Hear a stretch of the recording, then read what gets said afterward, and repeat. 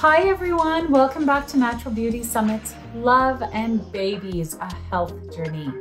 I'm your host, Salome Sallehy, founder of Sugar Sugar Wax, and this is my co-host, Angela Cheung, founder of Emdash Beauty. Today's conversation is all about chemicals, the good, the bad, and the ugly. Angela, will you tell us a little bit about Aida Garcia Toledo? Absolutely. So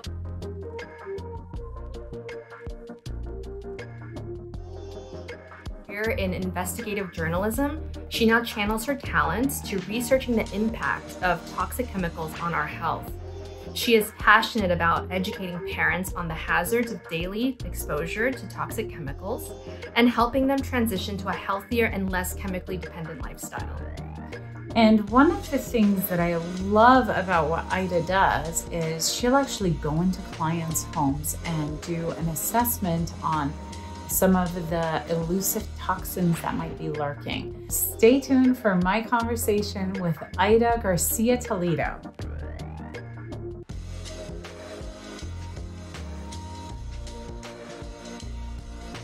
Hey guys, welcome to Natural Beauty Summit's Love and Babies a Health Journey series. Today I am here with Aida Garcia Toledo, who is the founder of Three Little Plums, as well as an environmental consultant. And we are going to be digging into some major, major environmental things that you guys are going to love. I thought I knew a lot, but I've learned a lot more through Aida. So, um, welcome to the show. Thank you. Thank you so much for having me. Um, love what you guys are doing. So excited to be here. Thank you for being here. I love what you're doing. And I kind of want to get right into it and dig right into PFAS or PFASs because during our last summit, I actually um, learned a lot more about them from uh, the founder of EWG, Ken Cook. And I literally like tossed all my nonstick cookware. I swore off Gore-Tex. And, you know, I made all of these changes, but now I'm all these studies are coming out sharing that like PFASs are being found in the most unexpected places, like in fish, um, period underwear that came some while like a while ago. It's now leaching into condiments like ketchup and mustard. And the one that really threw me off, which I actually um, learned about through you, is um, the compostable plates. Yes, yes, what? Oh yeah. my God, what is the new rule book? And like, maybe just kind of step back a little bit and for yeah. our audience who isn't familiar with PFAS, yeah. Um, can can you share a little bit about this demon forever chemical? Yeah. Well, I'm I mean, I love talking about PFAS and I've been talking about it for more than a decade because it's um it's a class of chemicals. You know, there's more than 6,000. I think at last count there's 7,000. 8,000. Like we don't really know how many of them there are, but there are many. It's like a family, a big family of chemicals. And they are all fluorine based and they have, you know, at a molecular level, they have carbon. And what makes them so useful in a way is that they are the chemicals that make things either stain resistant or water resistant or grease proof. So like you mentioned, you know, all almost all the items that you mentioned, um, they're being used for one of those um, traits, right? So on the nonstick cookware, which is where we first started hearing about PFAS chemicals, and it was like the Teflon chemicals. Those are just some of the chemicals, and um, those start those were the first ones we heard about and it was because it's nonstick and they work so well and then those kind of started we, we went from these long chain ones to shorter chain ones which people thought were safer. And then we started seeing them popping up in all kinds of items, like you mentioned, from compostable um, plates and bowls to period underwear to food. And the question is A, why is it everywhere? Mm-hmm. Um, and how can we avoid these chemicals? So the answer is we can't really avoid them at this point. They are truly in every, you know, they're just everywhere, but we can do a lot to reduce our exposure to them, you know, and I look around my house and I'm like, I feel like I do a really good job of because I've been doing this for so long, I know exactly how to identify them and where they're found. But even I am not avoiding it. I can't live in a bubble, right? So, um, but what going back a little bit to answering your question, you know, why are they in food in the food supply? Well, it's probably thought that it's not that they're putting PFAS into the condiments like the ketchup. You know, the company's not doing this on purpose, but the machinery probably contains some sort of non-toxic aspect and that's how it's leaching into the supply chain that's what is the thought. They still don't know. They still have to test this these you know things out. But that's what we think is happening.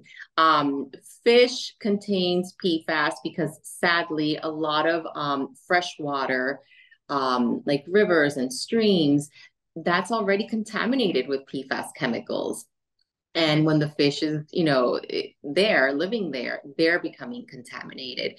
Today actually ewg which you just mentioned um, sent out an email which was fascinating talking about 100 plus animals that are now contaminated with pfas chemicals. And we're talking about like animals that live in the North Pole and the Arctic and the Antarctic in in in very you know in places where there is no industrialized life or you know it's not a city animal and yet they are contaminated. They have PFAS in their bodies and their systems.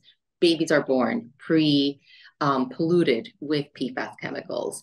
So it's it's really you know the lesson is and oh and the other thing that's important to mention is that the one thing that is most worrisome about these chemicals is that they don't. So there's some chemicals that you'll have it in your body, and then within a couple of days, a couple of hours, you excrete it. So the idea being, if you stop your exposure to that chemical, your levels will go down. But PFAS chemicals tend to accumulate and they can last for many years. Some PFAS chemicals will last for 20 years inside your body.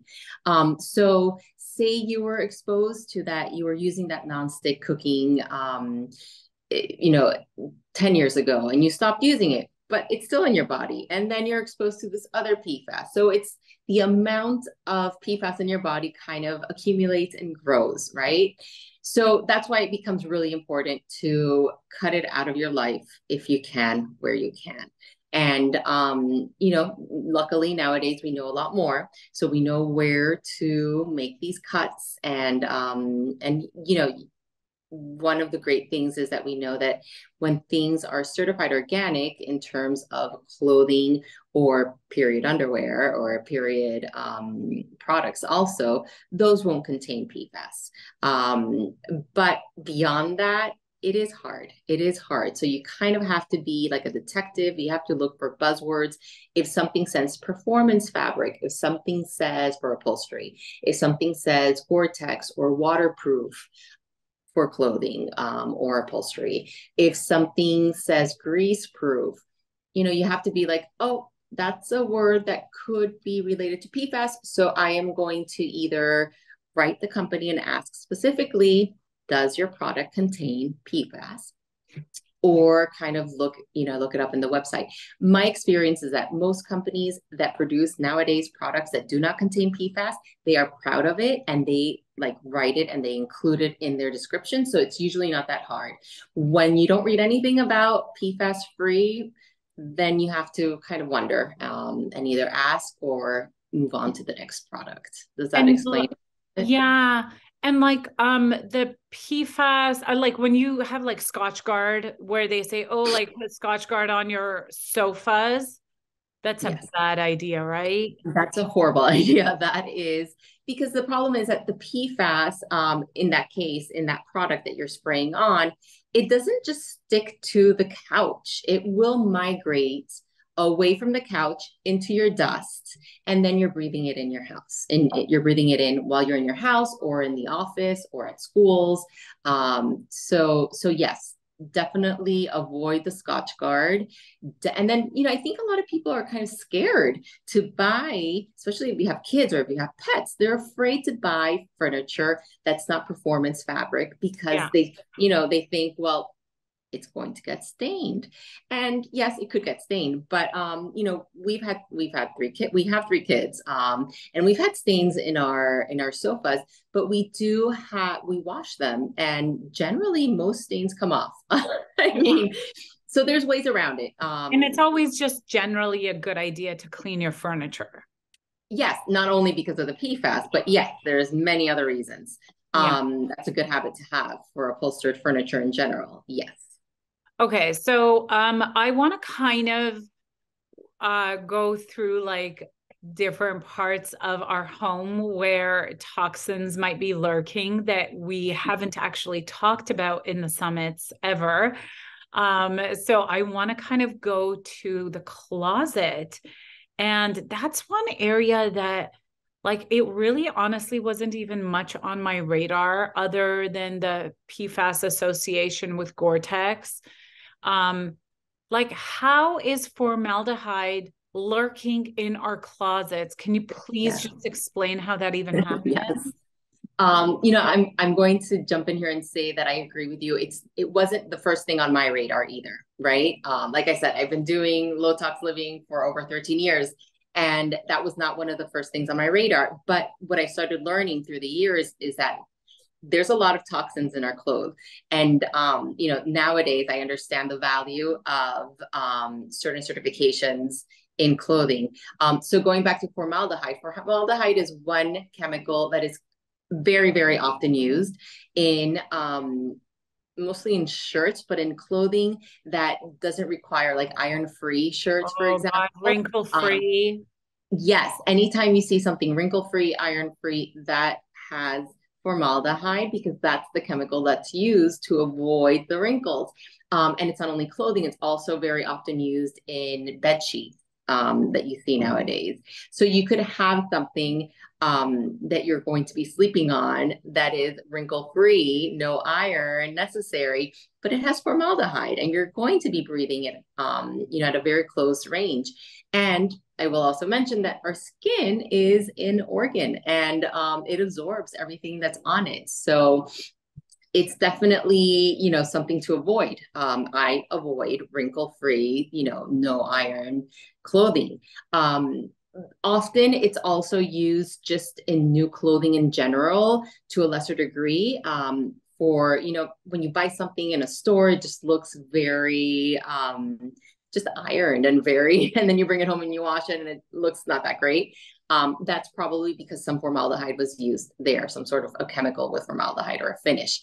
Um, so a little bit of the formaldehyde will wash off, but if you think about it, if you buy a no iron shirt, it remains no iron or iron free or whatever um, for many, you know, uses and years. So that means that the chemical's still there. It'll come off slowly, but it's still there. Um, wow. So that's just one chemical, though. I mean, there's chemicals. There's chem- there's phthalates, which are um, traditionally known endocrine disrupting chemicals that can be used that are usually used like in plastics to make plastic soft, and they're also used in fragrances.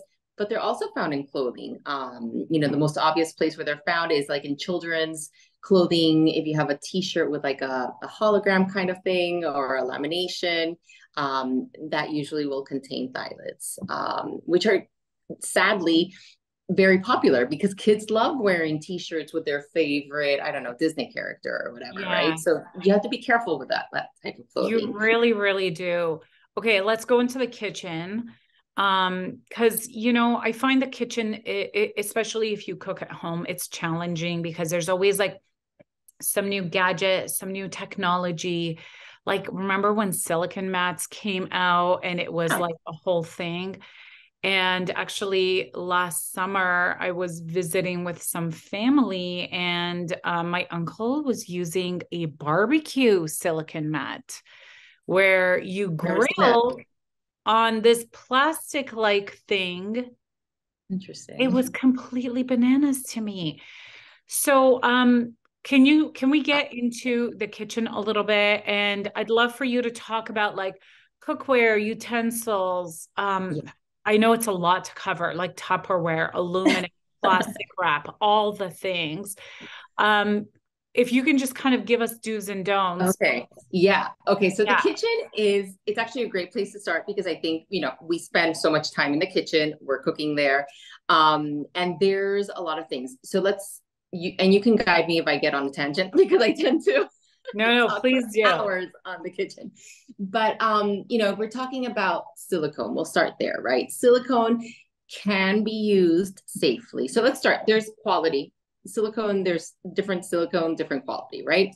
Generally, you want to look for medical grade silicone or platinum grade silicone.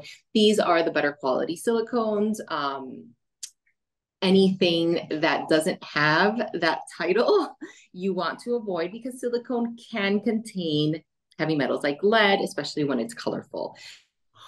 Um, an easy test, I wish I had something here with silicone, but if you have an item that's silicone and you kind of pinch it, if you see that it looks like a, something that's colorful, kind of white, usually that means that it's of lesser quality and it could contain fillers and you would kind of avoid that because it could contain lead and different fillers in the color.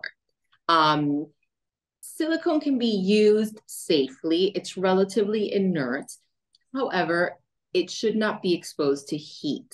Um, after about, I've heard different numbers, but I've seen studies that show that anything over when it's exposed to over 350 ish degrees Fahrenheit, um, siloxanes, which are endocrine disrupting compounds, can leach, can come out of silicone. So if you are constantly baking with silicone molds and you're baking at a higher temperature, anything over 350 ish, um, those siloxanes are going to migrate into the food and you're going to ingest it. Same with like the silicone mats.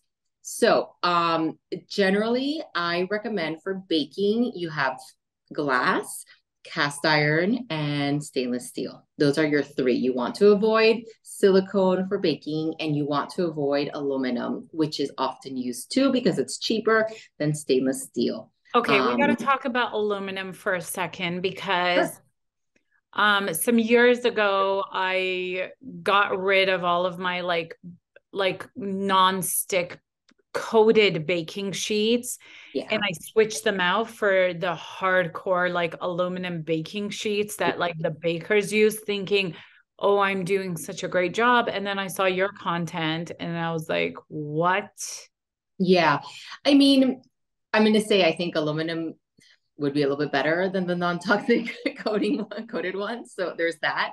But aluminum is a neurotoxin. So if you're if this is something again, it's all about balance in that you have to kind of look at what you use at your in your house in your routine. If you're using if you have an aluminum cookie sheet and you use it twice a year, it's okay. Put a little parchment paper, chlorine free parchment paper. I like if you care, and that's fine.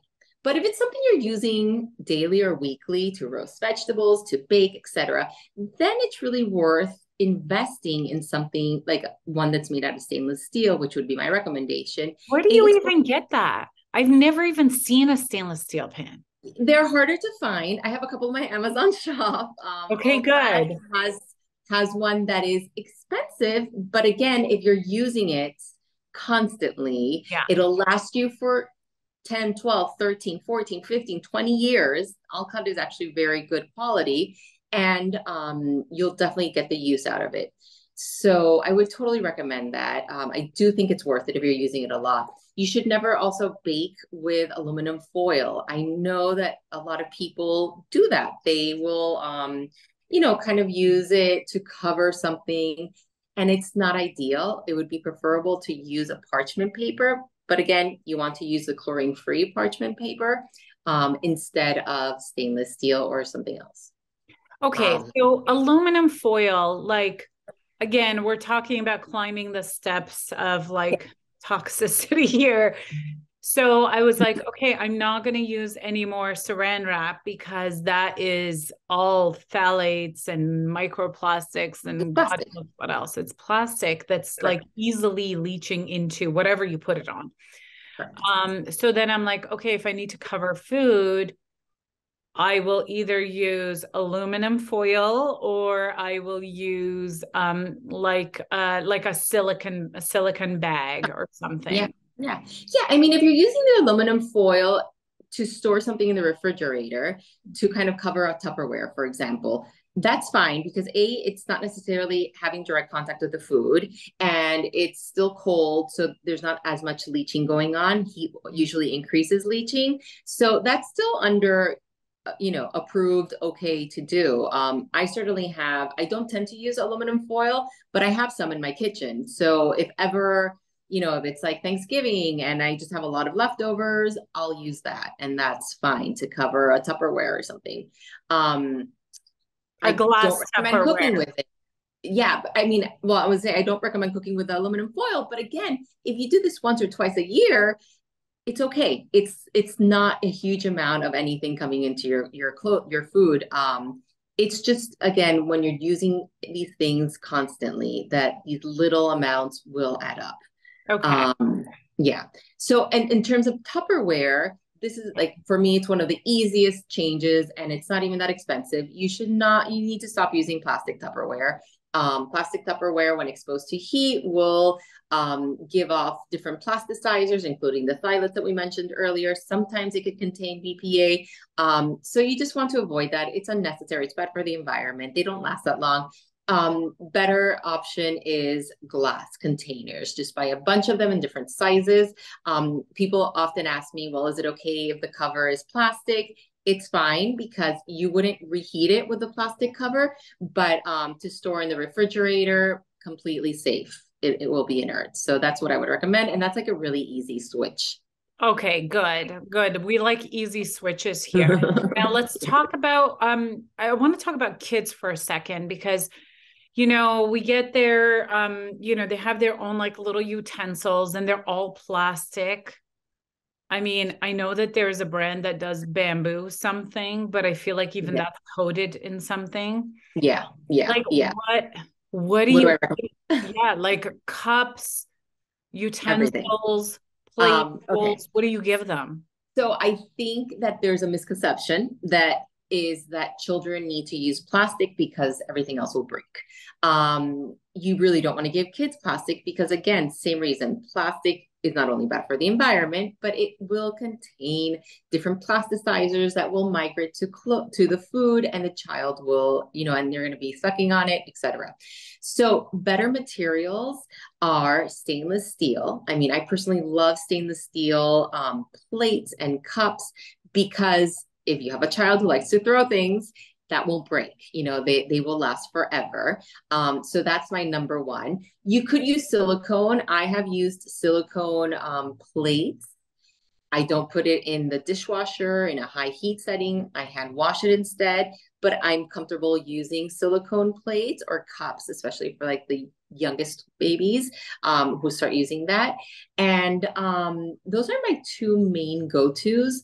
I used to use with my older two kids when there wasn't my oldest one is 13 so there wasn't as many products as there are nowadays. And so back then i would use um, glass plates but they would come covered in like a silicone cover. That's great because glass is ultimately the best um, material that you want to use.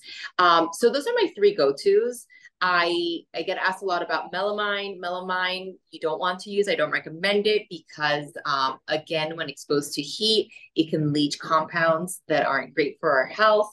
Um, I don't love bamboo because bamboo often requires an adhesive yes. um, that contains formaldehyde. So or melamine, melamine, which has the other. So I, the bet your best bet really is stainless steel, um, some silicone, and glass. Um, I noticed that you were talking about kitchen utensils in um, one of your clips, and um, and I think it just like really simplified the kitchen for me so much. Like wood, stainless steel, you were saying use those for like your cooking utensils or whatever.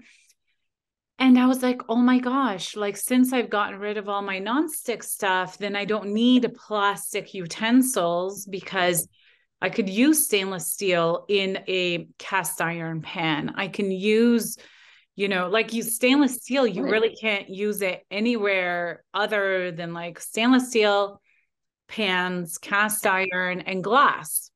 Right, right. And it just simplified the whole kitchen for me. It's like, oh my gosh, Like just make everything like glass, stainless steel, cast iron. Those are the three go to. You can use them at liberty and you know that you will be in good hands. Um, yeah, I think that we just have to just um, stay away from the plastic and the nonstick. I think those are the two things. And if you can remember that, sometimes it just seems overwhelming because you look around and you're like, oh my gosh, where do I start? But you know, just do it one thing at a time, one thing at a time, one thing at a time, and that will add up.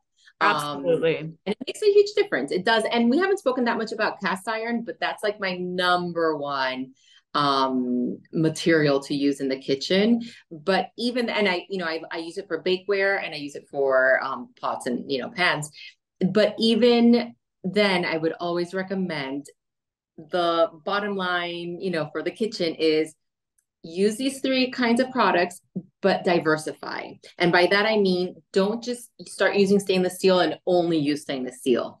Incorporate the wood, incorporate the glass, incorporate the cast iron.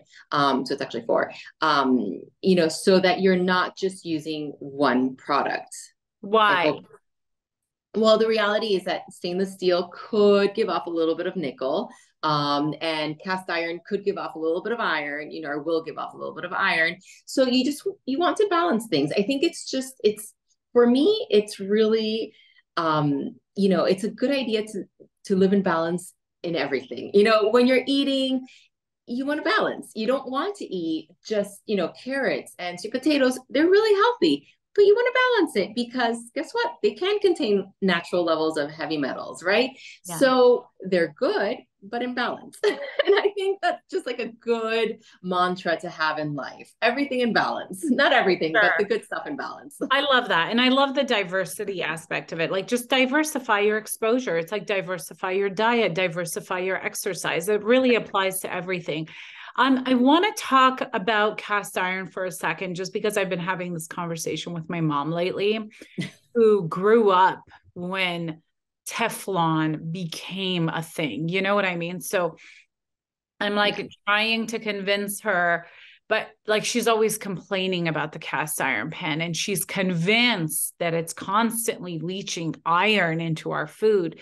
And when she burns something and it's black, she's like, that's iron. We're eating. you know, so is that like, how do you it's, change that perception? Is that real? I mean, no, I think, I mean, it will leach a little bit of iron. There's no doubt about that.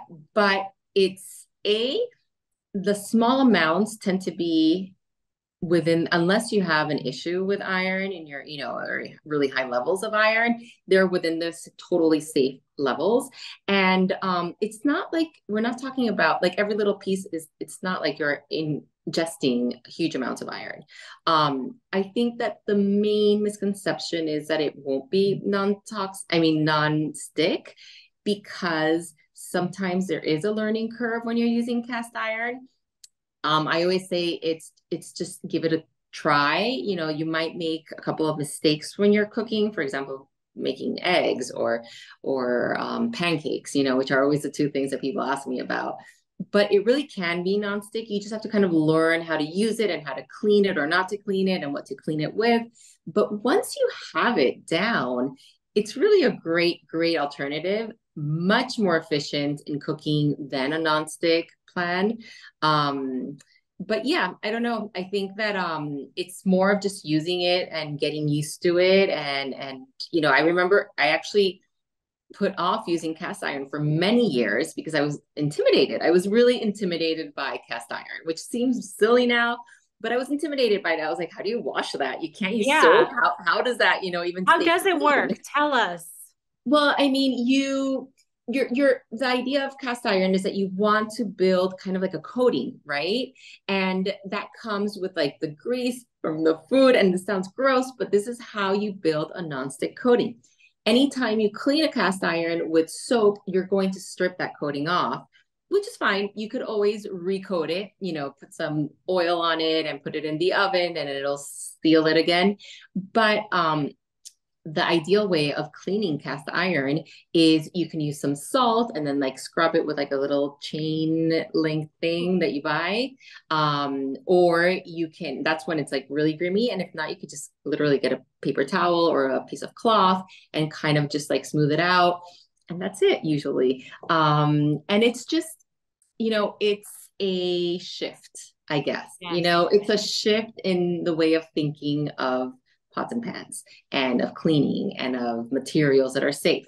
But again, and I say this to everyone, my husband is the one in charge of breakfast in our house and he uses he loves the cast iron and he and he also uses stainless steel to make eggs to make you know pancakes. So if he can do it if he can learn we can all learn. I mean it's doable and it's just such a better material just from a toxicity standpoint. So much better than using um, nonstick. I mean, there's just no way around the nonstick coating. It's bad. It's horrible.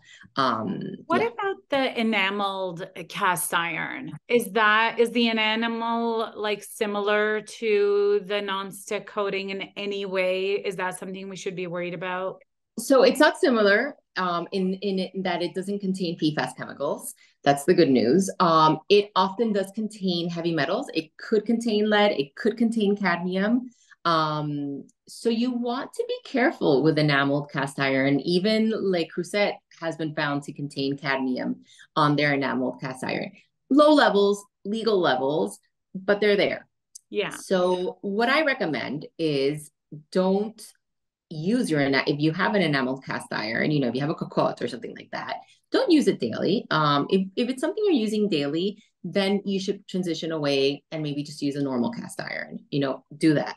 But if it's something again that you use five times a year for, you know, like if you do stews, if you, you like to make a stew and that's why you're using it for, then it's perfectly okay. Um, but you just, if it's something you're using often, you want to really stick to the normal cast iron, the uncoated, you know, and um, or the stainless steel or the glass or the wood. Those are your options. That is great to know because I literally have been loving cast iron so much that I was about to expand my enameled cast iron collection. So I'm glad yeah. I learned this before I did, and um, and it's so expensive too. It is. It is, and they'll last forever. I mean, they're really good but um but yeah if you're going to choose one the better one toxicity wise would be the like the cast iron not the enameled. Gotcha. Okay i want to get into bedding because you kind of touched on it earlier and i don't think bedding gets a lot of t- airtime. And one of the things that i have noticed in the last five years because i'm like really big on like good sheets yeah. I find it harder and harder to find cotton sheets. There's hmm. this Oeko-Tex, wrinkle free, like, you know, a million thread count. I'm exaggerating, million, but you know what I mean? Like all these ridiculous claims. And, you know, sometimes we'll be like staying at an Airbnb and I'm like, this is, it feels like plastic. Yeah. Yeah. What the hell? Yeah. I mean, for me, I think and again, it's the same thing with clothing. Um, at this point in my life, I feel that you want to stick to natural fibers. Let's start there, right? Um, at a minimum, you want to go with like cotton, for example, right? Without just plain cotton. Now, the ideal situation is a GOTS certified, GOTS certified organic cotton that will assure you that you're sleeping on something that has no pesticide residue, has no dyes with any kind of heavy metals or anything, um, it's and, and no formaldehyde and all of that. So that's really your ideal. I think that, I mean, the reality is that not everyone can afford GOTS certified organic cotton, and that's a, a reality. And then if that's you, just stick with cotton, but don't look for any, you know, look for something that's not ideally Oeko-Tex. For example, I know that like Target sells cotton sheets that are Oeko-Tex certified. That's another certification, and it's very good um, and trustworthy. So that's a second, you know, second tier kind of thing. You know, you want to tier number one, ideal option is GOTS certification, which is organic. Tier number two, second best option is Oeko-Tex.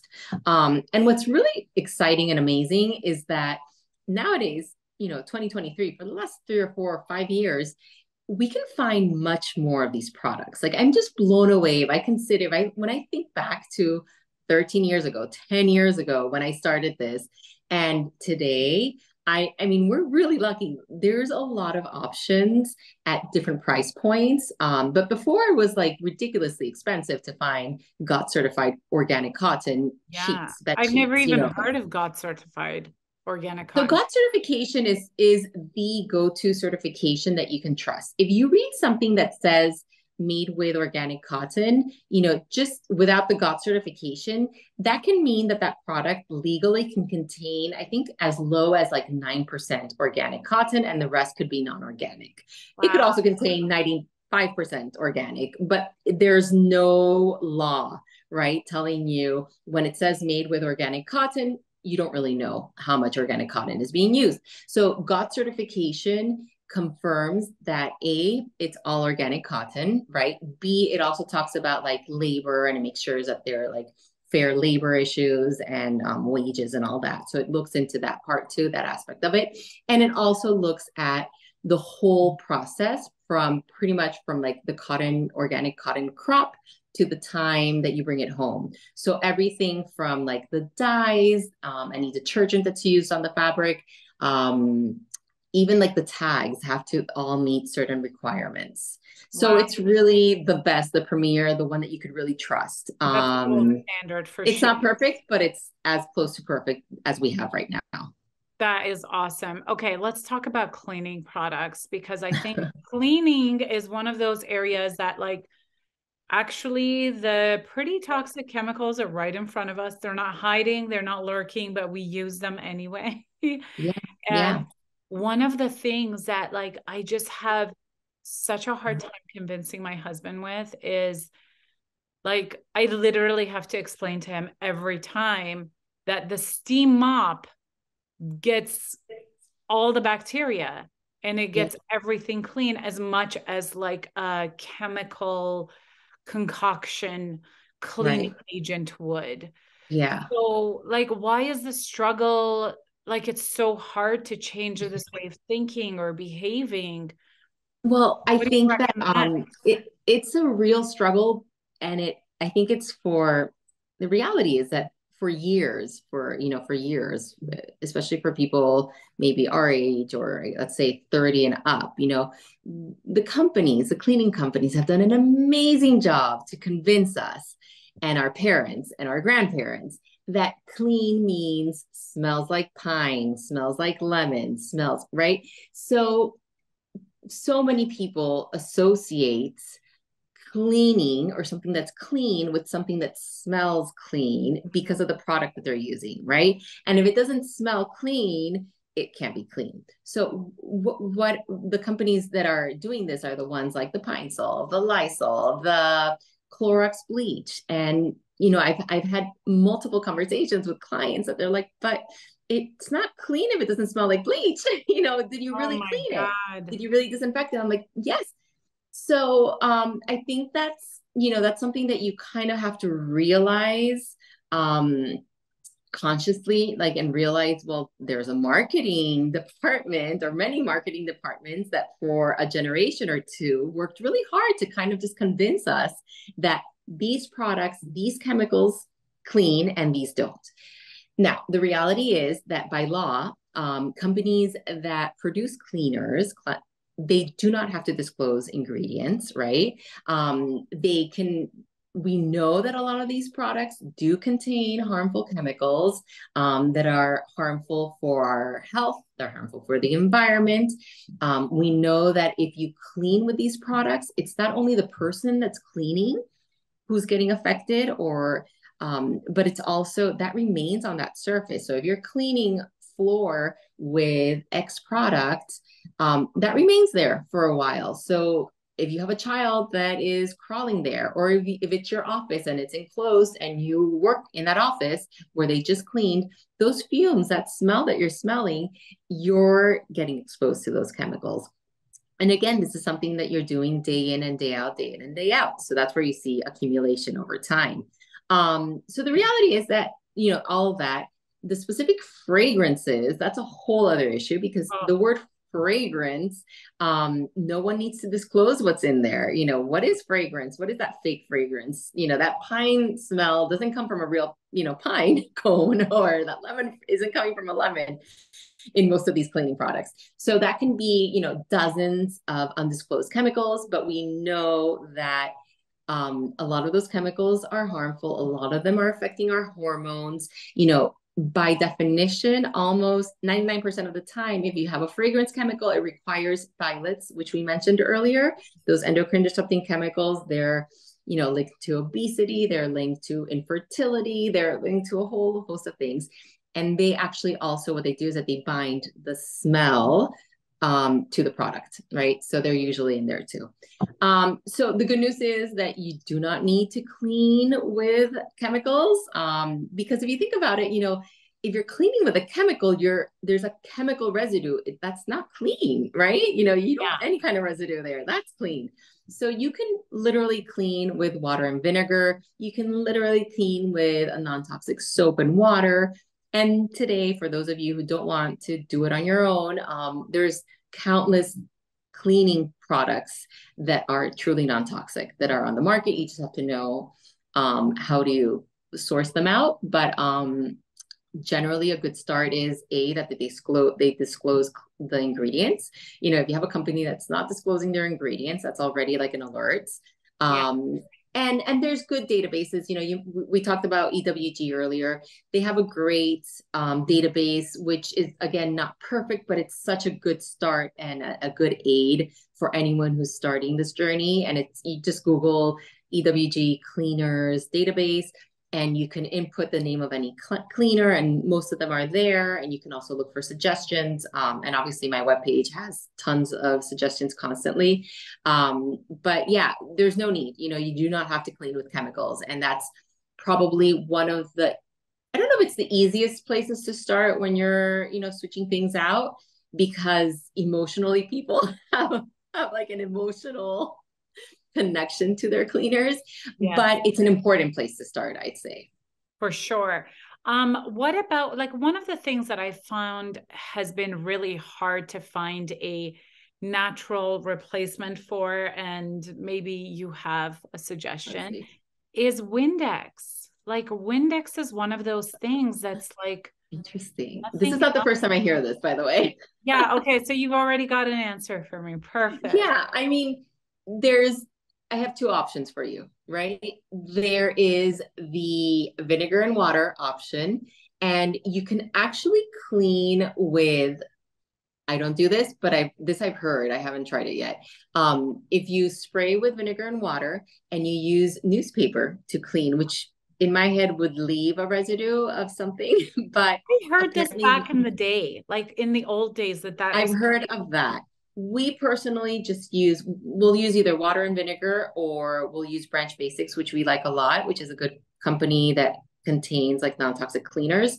Um, they sell non-toxic cleaners.